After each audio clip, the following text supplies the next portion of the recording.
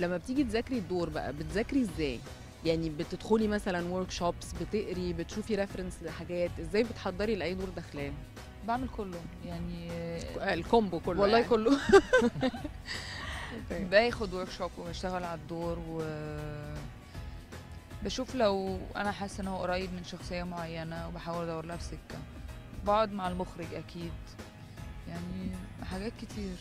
بلاقي ناس هنا أو فنانات كتير معرفش موافقيني ولا لأ دايما بيبقوا مهتمين قوي بالشكل الخارجي أكتر. يعني بحس لما بتيجي تتكلم على دور محضرين له أو بتحضري دور بيحضر دور بيهتم قوي بشكله ال- الخارجي. فبحس إن في حاجات كتير في الدراما أو في الكاركتر.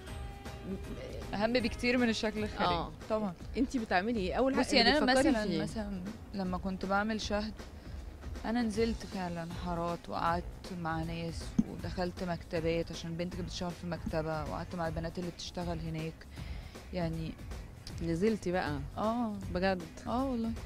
أوكي. فبحاول إن كل ما الشخصية بتبقى حقيقية قوي قوي قوي بتوصل للن- للناس. يعني هي الناس بتحس جدا لو الحاجة حقيقية أو لأ. مش إن هي بقى تبقى بتتكلم بطريقة كده مبالغ فيها لازم تبقى حقيقية حقيقية بجد الشخصيات اللي انت بتقابليها.